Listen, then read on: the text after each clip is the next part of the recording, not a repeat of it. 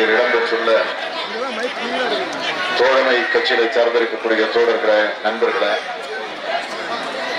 வணக்கத்திற்குரிய வாக்காளர் பெருமக்களே உங்கள் அனைவருக்கும் என்னுடைய அன்பான முதல்ல நீங்கள்லாம் தந்திருக்கக்கூடிய இந்த சிறப்பான உற்சாகமான இந்த இணையதொரு வரவேற்புக்கு என்னுடைய இதயங்கடிந்த நன்றி நன்றி நன்றி நன்றி. மழையை கூட பொருட்படுத்தாம இங்கே எழுச்சியோட இங்க திரண்டிருக்கக்கூடிய இந்த காட்சியை பார்க்கும்போது நான் உள்ளபடியே மகிழ்ச்சி அடைகிறேன் பெருமைப்படுகிறேன். ஆக உங்களை பொறுத்த வரைக்கும் நாட்டிலே ஒரு மாற்றத்தை உருவாக்க வேண்டும் என்ற முடிவோடு இருக்கிறீங்க ஆக அந்த மாற்றத்தை ஏற்கனவே பதினெட்டாம் தேதி நடைபெற்ற தேர்தலில் பிரதமராக இருக்கக்கூடிய மோடி அவர்களை ஒரு நிமிஷம் கூட இனிமே அவர் பிரதமராக நீடிக்க கூடாது என்ற நிலையில கூட்டணி கட்சியின் சார்பில் நின்ற நம்முடைய வேட்பாளர் ஜோதிமணி அவர்களை பெருமதியான வாக்கு வித்தியாசத்தில் வெற்றி பெற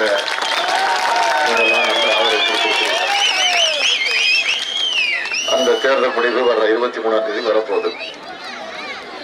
ஆக எப்படி மோடியை மாத்தணும்னு ஒரு முடிவோட நமக்கு கூட்டணிக்கு ஆதரவு கொடுத்திருக்கிறீங்களோ அதே மாதிரி இங்க இருக்கக்கூடிய எடப்பாடிய ஆட்சியை விட்டு இறக்குவதற்கு வருகிற பத்தொன்பதாம் தேதி நடக்கிற தேர்தலில் நம்முடைய செந்தில் பாலாஜ் அவர்களை வெற்றி பெற வச்சு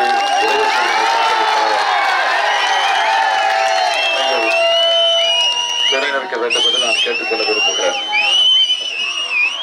ஏற்கனவே செந்தில் பாலாஜி அவர்கள் இந்த தொகுதியில உங்களால் உங்களுடைய அன்பை பெற்று உங்களுடைய ஆதரவை பெற்று சட்டமன்ற உறுப்பினராக வெற்றி பெற்றவர் தான் ஆனால் முழுமையாக அவரால் பணியாற்ற முடியாத ஒரு சூழ்நிலையில அவரை பதவியிலிருந்து இறக்கினாங்க. இறக்குனாங்கன்னு சொல்றதை விட பதவியை படிச்சுக்கிட்டாங்க அவங்க ஏன் படிச்சாங்க அப்படிங்கிறது உங்களுக்கு நல்லா தெரியும். முதலமைச்சராக இருக்கக்கூடிய எடப்பாடி பழனிசாமி ஒரு ஊழல் நிறைந்த முதலமைச்சராக இருக்கிறாரு. ஆக அவரை மாத்தணும். அதற்கு பதிலாக வேறொரு முதலமைச்சர் வரணும் என்று இவர் மட்டும் இல்ல இவரோட சேர்த்து ஒரு பதினெட்டு எம்எல்ஏக்கள் அன்றைக்கு போர்க்கொடி தூக்குனாங்க. ஆக கவர்னரிடத்துல போய் மனு கொடுத்தாங்க. ஆக கவர்னரிடத்துல போய் முதலமைச்சரை மாற்ற வேண்டும் என்று மனு கொடுத்த காரணத்தினால அவங்க ஆட்சியை காப்பாற்றிக் கொள்ள வேண்டும் என்பதற்காக அவர்கள் பதினெட்டு எம்எல்ஏக்களை பதவி நீக்கம் செஞ்சாங்க. அதுல ஒருத்தர் தான் நம்முடைய செந்தில் பாலாஜி அவர்களும். ஆக செந்தில் பாலாஜி பதவி எடுத்ததுக்கு பிறகு ஏறக்குறைய ஒன்றரை வருஷமா இந்த அரவாக்குறிச்சி தொகுதியில எம்எல்ஏ இல்லாம ஒரு அனாதையாக மக்கள் பிரதிநிதியே இல்லாத ஒரு சூழ்நிலையில இருந்துச்சு. ஆக அதனால பல பல துன்பங்கள் பல பிரச்சனைகள் பல பல இடர்பாடுகள் எல்லாம் இந்த தொகுதியில் இருக்கக்கூடிய உங்களுக்கு ஏற்பட்டுச்சு. எல்லா பணிகளும் தடைபட்டு போய் நின்றுச்சு ஆக அவர் எம்எல்ஏவாக இருந்த வரையிலும் சில திட்டங்களை இங்கே கொண்டு வருவதற்கான எல்லா முயற்சிகளிலும் ஈடுபட்டாரு சட்டமன்றத்திலையும் பேசியிருக்கிறாரு. அதுல குறிப்பா இப்ப மீண்டும் இப்ப மீண்டும் அவரை நீங்கள் தேர்ந்தெடுத்து இந்த தொகுதியினுடைய எம்எல்ஏவாக உங்களுடைய எம்எல்ஏவாக நீங்க தேர்ந்தெடுக்க போறீங்க. அப்படி வர்றப்போ காப்பரமத்தி ஊராட்சி ஒன்றிய தொகுதியில் புதிய காவேரி குடிநீர் திட்டத்தை நிச்சயமாக அவர் மூலமாக கொண்டு வரப்படும். அரவக்குறிச்சி தொகுதியில் அரசு கலைக்கல்லூரி அமைக்கப்படும். கரூர் ஊராட்சி ஒன்றியம் புகழூர் பகுதியில் காவேரி ஆற்றின் குறுக்க தடுப்பணை கட்டப்படும். தாதம்பாளையம் ஏரி தூர்வாரப்பட்டு அமராவதியில தடுப்பணை அமைத்து கால்வாய் மூலம் உபரி நீர் கொண்டு நிரப்பப்படும். பரிசீலனை மேம்படுத்தும் வகையில காவேரி நதி நீரேற்று பாசன விவசாய திட்டம் நிறைவேற்றப்படும். காவேரி ஆறு மற்றும் கீழ்பவானி பாசன திட்டம் ஆகியவற்றின் மூலம் ஆத்துப்பாளையம் நீர்த்தேக்கத்திற்கு உபரி நீர் கொண்டு வந்து நொய்யல் வாய்க்கால் மூலம் காப்பரமத்தி ஒன்றியம் மற்றும் கரூர் ஒன்றிய பகுதிகளில் விவசாயத்தை மேம்படுத்துவதற்கான உரிய நடவடிக்கை எடுக்கப்படும். அரவக்குறிச்சி ஈசனத்தம் சின்னதாராபுரம் கேப்பரமுத்தி ஆகிய பகுதிகளில் முருங்கைக்காய் ஏற்றுமதி செய்ய அதற்குரிய நடவடிக்கை எடுக்கப்படும். கிராமப்புறங்களில் பொருளாதாரம் மற்றும் வளர்ச்சிக்கு அதன் மூலமாக இருக்கக்கூடிய கால்நடை செம்மறியாடு வளர்ப்பு அதை ஊக்குவிக்க கால்நடை வளர்ப்பு மற்றும் ஆராய்ச்சி நிறுவனம் உறுதியாக அமைக்கப்படும். நூறு நாள் வேலை திட்டத்தை நூற்றி ஐம்பது நாளாக உயர்த்தி தரப்படும். உயர்த்தி தரப்படும் மட்டுமல்ல ஒரு வார காலத்திற்குள்ள அதற்குரிய ஊதியத்தை நீங்கள் பணி செய்யக்கூடிய இடத்திலேயே அந்த ஊதியத்தை கொண்டு வந்து வழங்குவதற்கான வசதிகளை செய்து தரப்படும். விவசாயிகள் பயன்படக்கூடிய வகையில புஞ்சை காலாக்குறிச்சி மேகர உள்ளிட்ட பகுதிகளில் அமராவதி ஆற்றின் குறுக்கே புதிய தடுப்பணை கட்டப்படும். காரபரமத்தி ஊராட்சி ஒன்றியத்தை ரெண்டாக பிரித்து சின்னதாரபுரம் ஊராட்சி ஒன்றியம் புதிதாக உருவாக்கப்படும். இப்படி பல உறுதிமொழிகளை அவர் மூலமாக நிறைவேற்ற நான் இந்த நேரத்தில் உங்களுக்கு ஒரு நம்பிக்கையை தர விரும்புகிறேன். அது மட்டும் இல்ல திமுகவுடைய தேர்தல் அறிக்கையில நம்ம பல உறுதிமொழிகளை எடுத்து சொல்லியிருக்கிறோம். கிராமப்புற பகுதியில் இருக்கக்கூடிய பெண்களுக்கு அவர்கள் சுயமாக சிறு சிறு தொழிலை செஞ்சு செஞ்சுக்கிறதுக்காக ஐம்பதாயிரம் ரூபாய் வட்டியில்லா கடன் வழங்கப்பட இருக்கிறது. ஐம்பது லட்சம் மகளிருக்கு மக்கள் நல பணியாளர்கள் பணி வழங்கப்படும்.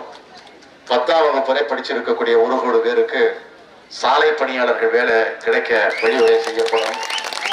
பெட்ரோல் டீசல் சமையல் வாயு கேஸ் இதெல்லாம் கட்டுப்படுத்தி அதையும் குறைக்கின்ற முயற்சியில் ஈடுபடுவோம். நிலமற்ற ஏழை விவசாய தொழிலாளர் குடும்பத்தை சார்ந்திருக்கக்கூடியவர்கள் தன்னுடைய குடும்பத்தினுடைய வறுமையின் காரணமாக அவர்கள் தங்கள் வீட்டில் இருக்கக்கூடிய நகை நட்டுகளை தோடு கம்மல் மூக்குத்தி கழுத்தில் அணியக்கூடிய தாலிச்சை இதையெல்லாம் கொண்டு போய் இடமான வச்சிருக்கிறீங்க. ஆக அதற்கு வட்டியும் செலுத்த முடியாத சூழ்நிலையில தத்தளிச்சுக்கிட்டு இருக்கிறீங்க அதையெல்லாம் மனசுல வச்சுக்கிட்டு தான் அஞ்சு பவுன் வரை இருக்கக்கூடிய தங்க நகை கடன் முழுசா தள்ளுபடி செய்யப்படும் என்ற உறுதிமொழியை தேர்தல் அறிக்கையில சொல்லியிருக்கிறோம்.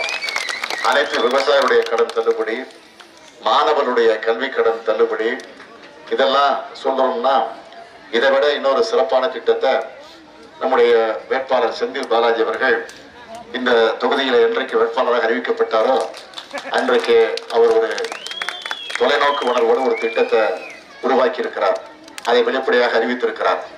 அது என்னன்னு கேட்டால் அரவாக்குறிச்சி தொகுதியில வீட்டு மனை இல்லாத இருபத்தஞ்சு லட்சம் பேருக்கு மூணு சென்ட் வீட்டு மனை நிலம் இலவசமாக இருபத்தையாயிரம் பேருக்கு இருபத்தையாயிரம் பேருக்கு மூணு சென்ட் வீட்டு மனை நிலம் இலவசமாக வழங்கப்படும் என்ற ஒரு அறிவிப்பை வெளியிட்டிருக்கிறாரு. இதைத்தான் தலைவர் கலைஞர் அவர்கள் அவர் ஆட்சியில் இருந்தப்போ நான் உள்ளாட்சித்துறை அமைச்சராக இருந்தப்போ இலவச வீடு திட்டம் கலைஞர் வீட்டு வச வீடு வசதி திட்டம் என்ற அடிப்படையில் அந்த திட்டத்தை நிறைவேற்றி கொண்டிருந்தார்கள். ஆனால் அடுத்து அதுக்கு பிறகு அந்த அதிமுக ஆட்சி அது கலைஞர் பெயரால் இருக்கக்கூடாது என்று ஓர வஞ்சனையோடு கலைஞர் பெயரை நீக்கிவிட்டு பசுமை வீடு கட்ட திட்டக்கூடிய வீடு கட்டும் திட்டம் அறிவிச்சாங்க. திமுக ஆட்சியில வீடு இல்லாத ஏழைகளுக்கு ஆறு புள்ளி ஏழு பூஜ்ஜியம் லட்சம் வீட்டு மனைகள் வழங்கப்பட்டிருக்கு.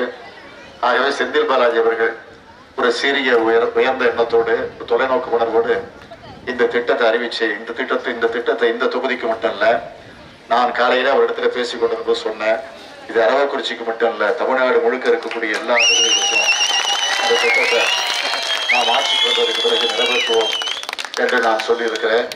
ஆகவே இந்த திட்டங்களை எல்லாம் ஏதோ தேர்தல் நேரத்தில் வந்து சொல்லிட்டு போகணும்னு நினைச்ச கூடாது. கலைஞரை பொறுத்த வரைக்கும் எந்த உறுதிமொழிகளாக இருந்தாலும் எந்த வாக்குறுதிகளாக இருந்தாலும் அதை நிறைவேற்றி தந்திருக்கிறார். தேர்தல் அறிக்கையில கூட அவர் சொல்லுவார் சொன்னதை செய்வோம் செய்வதை சொல்வோம்.